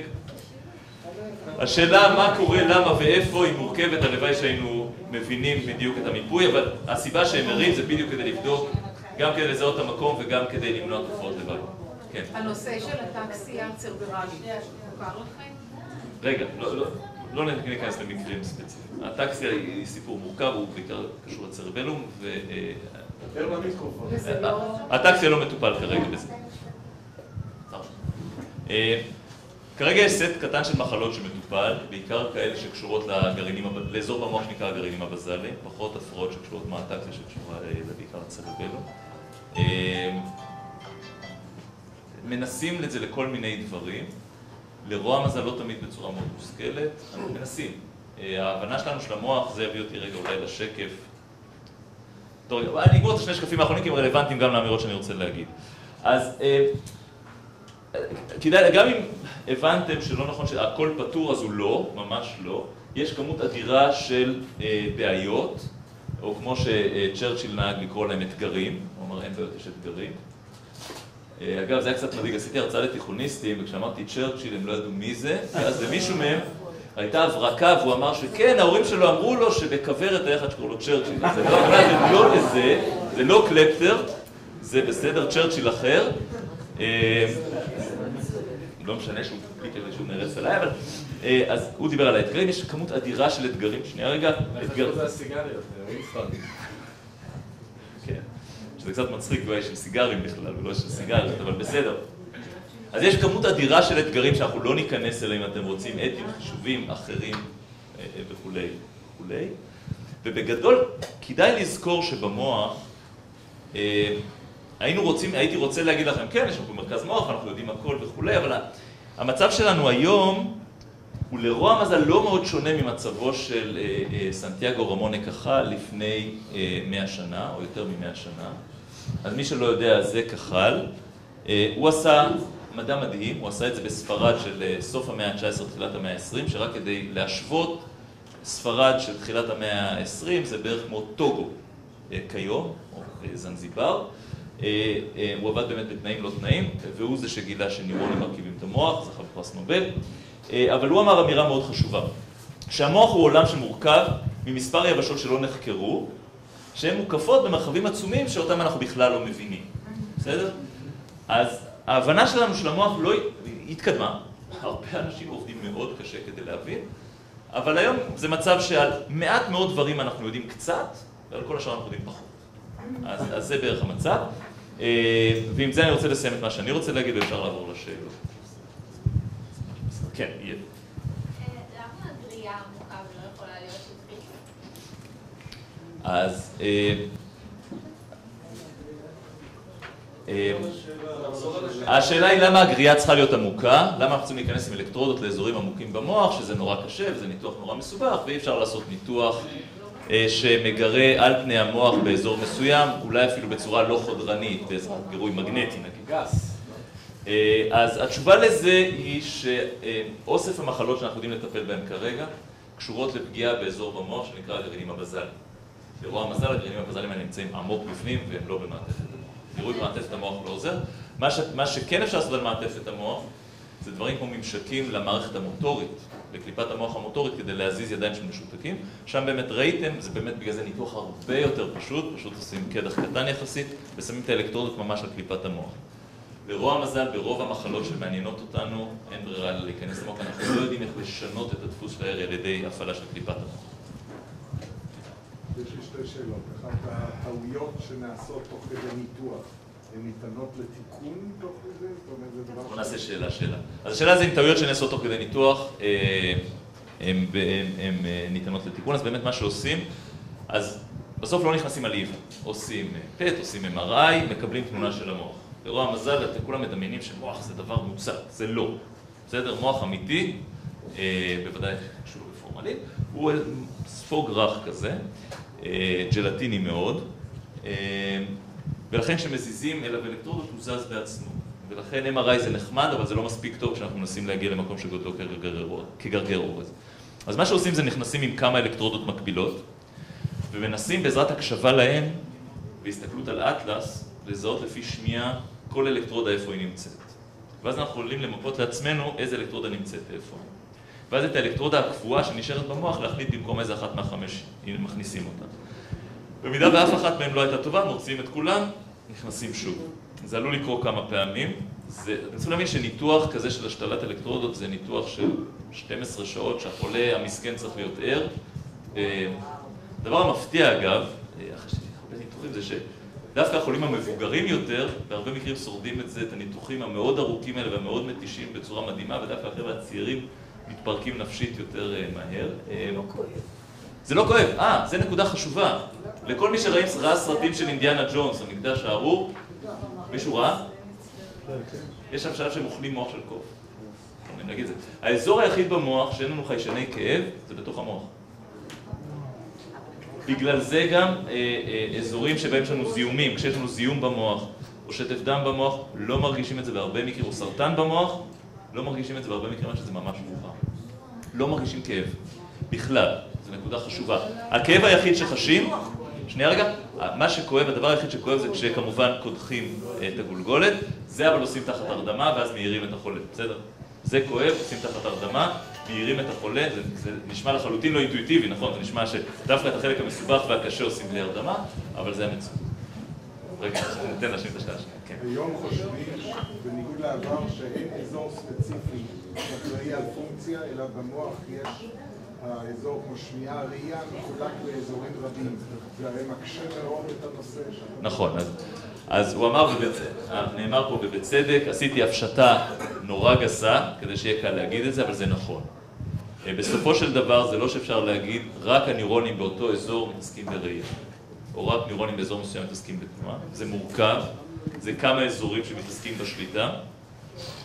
עדיין, לפחות בדברים סנסוריים ראשוניים, ברוב המקרים אפשר למצוא את האזור שאחראי על הסדר גודל הראשון של הפעילות, הפעילות הגסה. זה נכון שאם אנחנו רוצים להגיע לכל המורכבות של התנועה, אז מעבר לאותו אזור קטן שהראיתי לכם שנקרא primary motor cortex, יש supplementary motor cortex ו premotor cortex ואזורים שהם פי עשר יותר גדולים שאחראים לתנועה העדינה והמדויקת ואיך היא מושפעת מגורמים קוגניטיביים וכתוצאה מהעומס שמופעל על היד והמשקל וכו'. נכון, אבל ברמת, ברמה ראשונה זה אזור אחד. העולם הרבה יותר מורכב ממה שהצגתי אותו פה, אני מסכים. בנוגע לרוב הדברים שציינת פה, אה, נראה שזה מאוד תלוי בהתקדמות של הטכנולוגיה מבחינת השבבים והליכוד וכל הדברים האלה. אז איזה, איזה התקדמויות יש, למרות שזה כאילו מרתק איזה התקדמויות יש שהן באמת תלויות במדעני מוח היום ברמת התחום שלהם? אז, אז בסופו של דבר רוב ההתקדמות, אז זה נכון, אה, חלק מההתקדמות שראיתם תלויה בטכנולוגיה, המון סוגי טכנולוגיה, בסדר? הכוח החישובי שיש לנו כדי לזהות את הקידוד, הכוח שלנו לייצר צ'יפים קטנים שניתן להשתיל אותם מתחת לאור, היכולת שלנו ליצור חומרים שהם ביו-קומפטיבל שאפשר לשים אותם מתחת לאור בלי לגרום לתגובות חיסוניות. זה עדיין אחוז מאוד קטן מהבעיה שיש. הבעיה הקשה באמת שיש לנו היא להבין את הקידוד של אותם ניורונים. מה הניורונים אומרים? מצד אחד, ואיך אנחנו גורמים להם להגיד את מה שאנחנו רוצים. ורוב מה שמדעני המוח עושים זה לנסות להבין את השפה שבה ניורונים מדברים, בסופו של דבר. וזה היום 90% מהבעיה שיש לנו. הבעיה הקשה שלנו היא לא טכנולוגית. לא. אה, זה בעיה כן? כן. האם יש הישגים בתחום של אה, הבנת או שילוב אה, בתחום הזיכרון? אוי אוי אוי, שאלה קשה. זיכרון, איפה נמצא? האם אנחנו, מה ההתקדמות בתחום הזיכרון בכלל, ואם אני אקח את זה אז בתחום האלצהיימר ודמנציה בפרט. הבעיה עם זיכרון שאנחנו מבינים אותו בצורה מאוד חלקית, כן יש לנו הבנה, אבל קודם הזכירו פה את, את הייצוג המבוזר שלו, הזיכרון הוא דוגמה קלאסית למשהו שהייצוג שלו מאוד מבוזר, הוא נמצא בהרבה מאוד אזורים במוח, ומחלות כגון האלצהיימר ודמנציות אחרות לא מאופיינות בזה ש... סליחה. פרקינסון, בפרקינסון יש לנו פגיעה במספר מאוד קטן של ניורונים, עשרת אלפים, מאה אלף תאים מתים. אה, והם מתים באזור פצפון במוח, שאני יכול להחליף אותו בצורה מאוד, וגם אה, התאים האלה יורים כולם פחות או יותר אותו דבר, אני יכול להחליף אותו בצורה מאוד פשוטה. אה, לעומת זאת דמנציה, במצב שבו יש לנו מוות המוני של ניורונים, מתים אחוזים עצומים מהניורונים במוח, שכל אחד מהם מחזיק זיכרון אחר, זה לא אוסף של ניורונים שכולם אומרים אותו דבר, כמו הניורונים הספציפיים שאנחנו מחליפים ולכן קל לנו. ולכן היכולת שלנו להחליף את כל אותם ניורונים ספציפיים היא אפסית. גם, גם אם היינו היום מבינים לחלוטין איך זיכרונות נמצאים, המשמעות של, של אה, מחלה כמו דמנציה היא שאני אצטרך להכניס מיליארדי, לא יודע מיליארדי, בוודאי מאות מיליוני אלקטרודות לתוך המוח, ושכל אחת מהן תפעל בדיוק כשאני רוצה שהזיכרון הזה יעבוד. זה על פניו נשמע מאוד רחוק אה, מאיפה שאנחנו נמצאים. אה, מחלות מהסוג הזה, הטיפול היחיד להם הוא טיפול ביוכימי שיגרום לתאים האלה להפסיק למות. זה לרוע המזל לא אני. כן, מרחוק מאחורה. רציתי לשאול אם אה, יש היום מחקרים אה, שימוש בשביל שיפור יכולות אנושיות רגילות, שימושים צבאיים, אה, לאמן אנשים לעשות דברים יותר מהר, אה, לזכור דברים יותר מהר, מה דווקא ממחלה, לקחת בן אדם רגיל ולשפר. אז, אז טוב, אז הבעיה העיקרית שיש לנו פה זה בעיה אתית, בסדר?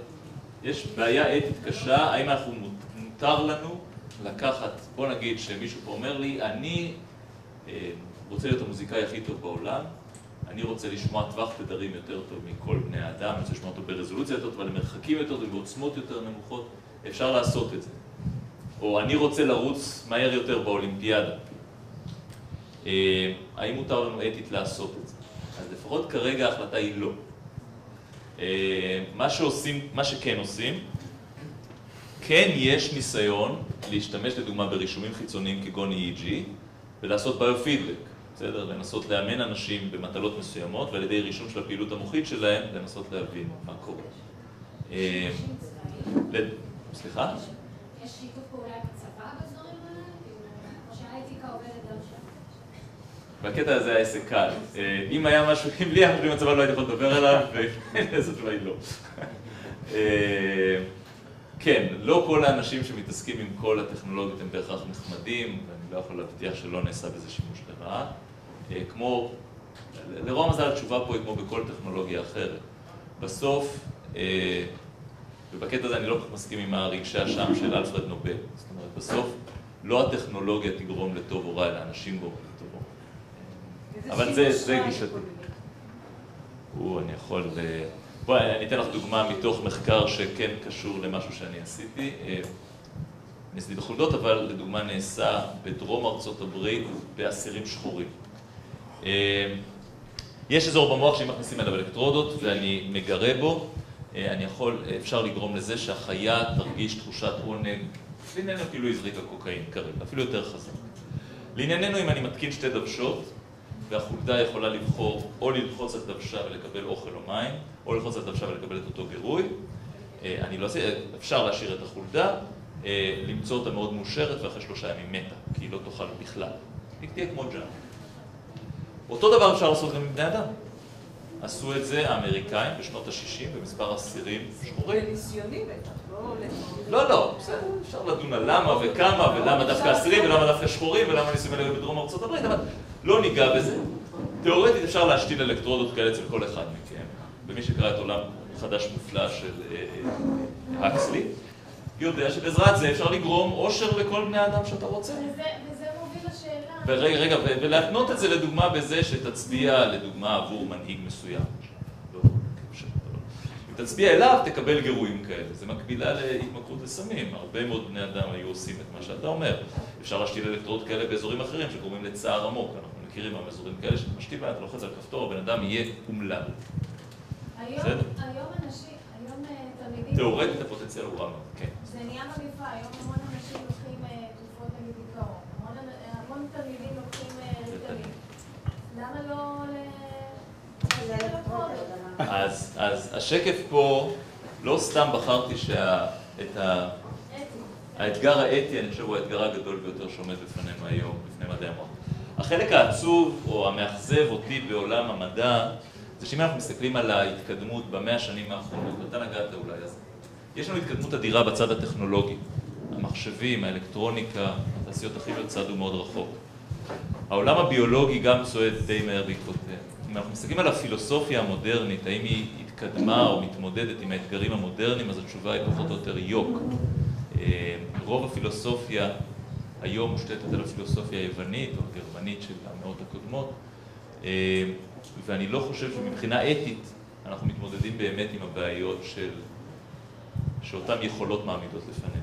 אה, בהרבה מקרים אנחנו בוחרים בלא גורף או כן גורף בלי לחשוב עליהם באמת, או שאנחנו מושפעים מכל מיני שיקולים פופוליסטיים, דתיים לפעמים, אה, חברתיים אחרים, בלי באמת לדון בהשלכות העמוקות. אבל בהרבה מקרים נוח לעצום עיניים, בסדר? מה אנחנו יודעים?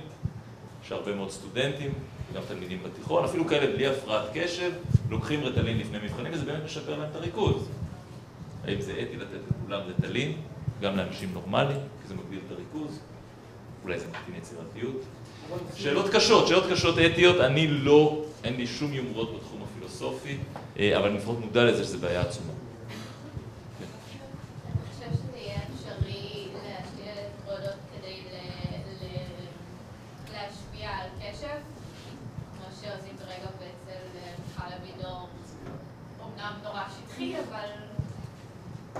כן, אז אצל מיכל עושים אה, גירוי חיצוני מגנטי. אה, ההשפעות של גירוי מגנטיים זו שאלה שהעסיקה אותי רבות, היה לי פה משותף עם מיכל ועם אפילו חלק מהאנשים של פיזיקאים שנמצאים פה בקהל.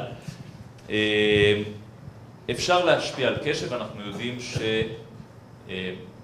שבחולים עם הפרעות אחרות חוץ מקשב, כשהשתילו להם אלקטרודות בגרעינים הבזליים שקשורים גם לקשב, אה, הייתה השפעה מאוד גדולה על, על ה-attention, אה, ועל דברים כמו hyperactivity ועל. היום, לדוגמה, אם אנחנו מסתכלים מהצד האתי, אז לא משתילים בילדים שיש להם היפראקטיביות אלקטרודות. האם בעזרת גירוי על קליפת המוח אפשר יהיה להשפיע על זה? אני דווקא בהקשר הזה פחות מסכים, כי שוב, האזורים שנפגעים זה שוב הבאזל גנגליה. אני לא סתם חוקר באזל גנגליה, זה אמנם מהווה אחוז אחד מהתאים, אבל 99 אחוז מהבעיות שלנו. אז אה, כן. האם אפשר אה, להכניס מידע למוח, או להפך, להוציא מידע מהמוח? אז זה בדיוק מה שאנחנו בסופו של דבר עושים פה. כאשר אנחנו מסתכלים לדוגמה על הגירוי הראייתי, אנחנו מכניסים מידע למוח, אנחנו מכניסים לו את העולם הוויזואלי החיצוני. כשאנחנו מגרים, אה, אה, מגרים את עצב השמיעה, אנחנו מכניסים מידע שמיעתי בצורה מלאכותית לחלוטין למוח. כאשר אנחנו מקשיבים לניורונים מוטוריים, אנחנו בעצם מוציאים מידע מהמוח. הרבה אנשים כשהם שואלים את השאלה הזאת, כמוך, אני מניח שאתה מתכוון לשאלה שלהם, אני יכול לדוגמה להוציא זיכרון. או אם אני יכול להכניס זיכרון. בשביל זה צריך להבין טוב הרבה יותר את הקידוד של זיכרון, איך נשמר זיכרון. ההבנה שלנו של זה הרבה יותר נמוכה מאשר ההבנה של משהו סנסורי ראשוני. בסדר? אני מבין היום איך פיקסל של ראייה, זאת אומרת נקודת אור אחת מקודדת במוח. אני לא מבין לדוגמה היום איך אובייקט מורכב מקודד במוח. הוא מבין הרבה פחות, יש היום הבנה בזה, אבל הרבה פחות. אז אנחנו מאוד רחוקים מהמטריקס נגיד, ששם אה, שותלים זיכרונות אה, ומבינים זיכרונות. אה, רגע, מישהו שלא שאל, כן. זאת דרך שאתה רואה בטווח הקרוב. אוי אוי אוי, זה תמיד שאלות קשות. אז כשאני הייתי בהייטק ועשיתי בכלל את הדוקטורט בתור תחביב, אז אה, היה אז עשור המוח. כי היו בטוחים, הנה עכשיו נכנסים לעשור, שמים מלא משאבים, תוך עשור נדע מה המוח עושה. ולא. עובדים מאוד קשה, הדימוי הכי טוב לזה זה chipping away, זאת אומרת, אפשר לדמיין גוש סלע ענק, מתחילים להוריד, מנסים לחשוף את הפסל שמאחוריו, אבל זה לאט לאט לאט לאט. מדי פעם, נורא קשה לנבא את זה, מדי פעם יש פריצה, כי במקרה הרבצת עם הפטיש מכה קטנה, קרה משהו גדול. במקרה. עכשיו, שוב, זה לא במקרה לחלוטין, בסדר, יש היפותזות מדעיות ואתה מנסה להתקדם. בסופו של דבר התקדמויות, אמנם כשמסתכלים מבחוץ נראה שיש ממציאים דגולים שגילו המצאה אדירה וכולי, והיה קפיצת מדרגה, אבל אלה שאמרו שעמדתי על, קצ... על כתפי ענקים בדרך הם צודקים. זאת אומרת, המדע מורכב מהרבה מאוד התקדמויות קטנות, אה, ולרוע המזל הם איטיות. בעולם המוח, בגלל המורכבות שלו, ההתקדמות היא מאוד איטית. כפי שאתם יכולים לראות, יש התקדמויות מאוד משמעותיות, אבל אה, אני מאמין שבעתיד לפחות הנראה לעין, אה, בתחומים האלה של המערכות הסנסוריות הראשוניות או המוטוריות הראשוניות, אנחנו נתקדם הרבה, גם כי הטכנולוגיה כבר שם, גם כי בתחום הנוירוסנס אנחנו מבינים יחסית טוב איך שריר זז, אנחנו מבינים טוב איך אה, אה, חתיכת אה, נקודת אור מקודדת. דברים כמו זיכרונות, יכולות קוגניטיביות, אה, אה, מצבי רוח, השליטה שלנו היום היא, נמוכה מאוד עליהם, וההבנה של, יותר גרוע, זה ההבנה שלנו של התהליכים הבסיסיים שם היא מאוד נמוכה. על תת מודע בכלל אין מה לדבר, נכון? אה, סוגיית התת מודע ודברים כמו מודעות, consciousness, זה שאלות שנחקרות אגב. יש בעיה שאתם צריכים להבין ש- שהדברים האלה נורא קשה לחקור אותם, זאת אומרת, איפה, זה דברים שאנחנו כבני אדם נוטים להתעלם, אבל כל ההתקדמויות, 99.9 מההתקדמויות נעשו על בעלי חיים. כי בסוף בבעל חיים אתה יכול לשאול באמת את השאלה ולגשת ולהקשיב לניורון ולווסת אותו וכולי. בבני אדם אי אפשר לעשות ניסויים כאלה, ובצדק. בסדר, רק משטרים אפלים מאוד עשו ניסויים בבני אדם. אה, לא כמה פעמים בהיסטוריה, כולל פעם אחת, לרוע מזלנו איתנו, אבל אה, כל התחומים האלה של התת-מודע, תודעה, אה, זיכרונות, יכולות קוגניטיביות גבוהות, אין לנו מקבילות טובות בבעלי חיים ולכן נורא קשה לנו לשאול אותם. אז יש כל מיני רעיונות איך אפשר לשאול אותם, או איך אפשר לשאול אותם בבני אדם על ידי מכשירים כמו MRI, אבל אתם צריכים להבין שהמכשירים שיש לנו היום בבני אדם, הלא פולשניים, נותנים לנו רזולוציות שלא דומות בכלל למה שאנחנו יכולים לעשות בצורה פולשנית. ולכן באופן לא מפתיע ההתקדמויות הן במערכות, אם נקרא לזה מערכות פשוטות, שמשותפות לנו ולדוגמה לעכבר. בסוף מערכת הראייה שלנו של עכבר או שמיעה מאוד דומה. המערכת המוטורית שלנו, הפעלת השרירים, בול אותו דבר, בסדר? אה, תזוזת גפיים עליונות, אנחנו וקוף, קוף ירוד, לא, קוף ירוד, מאוד דומה. ולכן אפשר לחקור את זה ממש טוב. קבלת החלטות, זיכרון, בוודאי תת מודע, מודעות עצמית, תפיסת האחר, שפה. רחוקים מזה מאוד, כי אין לנו איך לחקור אותם, אין לנו כלים מספיק חזקים. שם אולי באמת הטכנולוגיה מאוד תעזור לנו. אם היה לנו יכולת טכנולוגית להכניס בן אדם בצורה לא פולשנית לחקור את השאלות האלה, אז זה היה טוב. אתם צריכים להבין שב-MRI אנחנו רואים ווקסלים של מילימטר על מילימטר על מילימטר, גרים שם מאות אלפי ניורונים בבת אחת, אנחנו יכולים לראות אחד בודד. אז, אז יש פערים מאוד גדולים. רגע, מי לא שאל? כן, שאל. כשמכניסים את האלקטרודות למוח, לא פוגעים בנוירונים אחרים? כן, בהמון. בהמון? בהמון. ואז זה לא גורם נזק? או, מה הדבר המדהים במוח? יש לנו עשרה מיליארד תאים. פרקינסון זו דוגמה נהדרת. יש לנו עשרה מיליארד תאים, אני חושב שמשהו כמו 500 אלף מתים לנו כל יום, יכול להיות שאני קצת מזייף במספרים, אבל זה הסדר גודל. ורובנו בסדר גמור, רוב הזמן. אה, יש לנו אזורים במוח שאם מתים בהם ספציפית התאים, קטסטרופה, בסדר?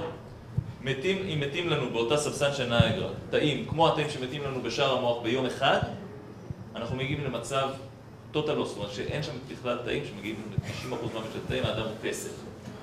אה, לגמרי. אז זה נכון, כשאנחנו נכנסים אלקטרודה, הורגים מיליוני תאים, הורגים הרבה יותר תאים ממה שמתים במקור.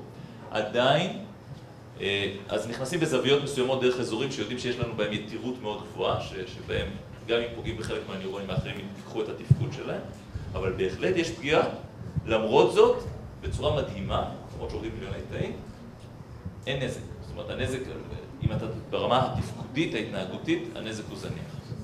אבל הבעיה הזאת שכשנכנסים למוח פוגעים בדרך היא בעיה מג'ורית, זאת אומרת, ב- ב- ב- להגיע לבאזל גנגליה זה יחסית קל, זאת אומרת, בגלל זה בניתוחים שאני עושה זה פחות בעיה, כי אפשר לעבור דרך אזורים שהם פחות אה, קריטיים, אבל בהרבה מקרים של גידולים, שצריך להוציא גידול מהמוח, זה בעיה מג'ורית, כי הרבה פעמים כדי להגיע לגידול צריך לגרום פגיעות משמעותיות באזורים שאנחנו יודעים, לדוגמה, שקשורים לראייה, קשורים ל- אה, לקבלת החלטות. בסדר, נגמר. מה אתה עושה עם מצב שלבן אדם יש ניתוח, אה, יש, אה, סליחה, גידול באזור מסוים, ואתה יודע שאתה יכול לפ... אולי אה, אה, להסיר ניתוחית את, ה, אה, את הגידול בהסתברות מסוימת, אבל הבן אדם יצא עיוור, אתה יודע במאה אחוז שהוא יצא עיוור. מנתחים, לא מנתחים, שאלה קשה שלמרבה מזל, אני לא רופא אז אני לא צריך לעסוק בה, אבל יש פה שאלות אתיות מאוד משמעותיות. בגוף התאים מתים ונולדים, משתכלים. נכון. אז בגוף שלנו אה, תאים מתים ותאים מחליפים אותם כל הזמן. אה, במוח זה לא קורה מלבד, לפעמים אתם תראו בעיתונים גילו שנולדים תאים וזה, אה, זה נכון בתתי אזורים מאוד קטנים לפעמים במצבים מסוימים קצת. רוב התאים, מה שנולדנו זה מה יש. מתי השיא? כשאנחנו צעירים, ואז זה מתים. גיל שמונה? לא, לא, לא, לא, מתים. לא נולדים חדשים. כשאנחנו נולדים אתה... יש לך מקסימום תאים. אחרי זה לא. אבל האינטליגנציה שלנו אני לא הכי מפותחת. או, השאלה איך מודדים, רגע, רגע, תכף נגיע לזה. אז שנייה, השאלה למה לא נולדים תאים היא שאלה קשה, אבל היא משותפת לנו ולכל החיות, נקרא לזה, לכל החולייתנים. לחסרי חוליות דווקא זה לא המצב. אה, אני לא יודע להגיד למה לא נולדים, יש הרבה מאוד ניסויים בתאי גזע מסוגים שונים, בריים ואחרים, לנסות להחליף את התאים שמתים בתאים שכן יודעים להתחלק. בינתיים זה לא מצליח. אה, יש כל מיני שאלות פילוסופיות למה נוצרים ולא נוצרים, בסופו של דבר לא נוצרים. זאת אומרת, המוח של תינוק הוא מוח של אדם מבוגר אותו גודל? לא, הוא יותר קטן, התאים נהיים יותר גדולים, יש שם כל מיני תהליכים שגורמים, אני לא רוצה להיכנס לתהליכים אה, התפתחותיים שם, א' כי אני לא מומחה, אה, ב' כי זה נושא מאוד מורכב בפני עצמו. מה שקורה להפך, כשאנחנו, יש pruning מאוד גדול, זאת אומרת, כשמסתכלים על מוח של תינוק, אז התאים שלו יוצרים הרבה יותר קשרים, הם מדברים עם הרבה יותר אה, נוירונים אחרים, ומה שנוצר זה תהליך pruning, זאת אומרת, חלק גדול מתהליך הלמידה שלנו הוא דילול של הקשרים שנוצרים, וחיזוק של חלק מהם והעלמה של רוב האחרים, בסדר? עכשיו לגבי השאלה של אינטליגנציה, כן, לא, זו שאלה מורכבת. אה, האינטליגנציה כמו שאנחנו מודדים איתה, אותה, היא כמובן לא תוצר של מה כוח העיבוד של אותו מוח, אלא גם מה נלמד בתהליך, בסדר? אז אם אתה מודד לדוגמה פעולות חשבוניות, ואותו תינוק לא למד עדיין פעולות חשבוניות, כי לא היה לו את הזמן ללמוד את זה, אז זו השוואה שאיננה הוגנת. אני לא יודע איך מודדים אינטליגנציה בצורה בלתי תלויה. אבל זאת אומרת, תיאורטית אפשר עכשיו ללמד מתמטיקה גבוהה לתינוק בן שנתיים, רק נמצא את הזמן בגן לעשות את זה. אה, באופן כללי, אה, ככל שאנחנו לומדים דברים בגיל צעיר יותר, אה, אנחנו לומדים את זה יותר יש מהר. את החומר הזה עם זה- ארבע אותיות, ALRC, משהו כזה. זה חומר עם ארבע אותיות באנגלית, שהוא אחראי על הפלסטיות המוגברת בגיל צעיר.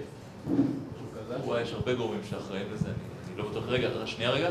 אה, באופן כללי לימוד בגיל צעיר יותר גבוה, כדאי לשים לב שלימוד הוא לא, בניגוד לכל הסרטים האלה שנגיד במטריקס, שהוא, אתה מכניס קרטיש ולומד קראטה, אז הלימוד האנושי מורכב, טוב, אני תכף מפסיק, אומרים לי להפסיק, אתה מפסיק? אז תשובה אחרונה, אה, הלימוד האנושי מורכב משכבות, אתה לא יכול ללכת ו... אתה כשאתה באוניברסיטה, אתה לא יכול ללמוד אה, קלקולוס למתקדמים לפני שלמדת את לוח הכפל. אז יש איזשהו סדר שצריך ליצור דברים. אה, אנחנו לא יודעים איך ליצור את זה בצורה אוטומטית, אבל גם אם אתם... לשאלה אם אפשר להתחיל ללמד ילדים יותר צעירים, התשובה היא כן, וכנראה שאפילו מומלץ. אה, הסיבה למה מתחילים בגיל 6 דווקא ומפסיקים בגיל 18 תלויה במהפכה התעשייתית שלפני 150 שנה, ולא בשום גורם מוחי או ביולוגי או כל דבר אחר. או באמת, כן, בסדר. מבזבזים את הזמן עם זה. כן, אז הקיצר ביקשו ממני להפסיק, אז אה, אני מפסיק.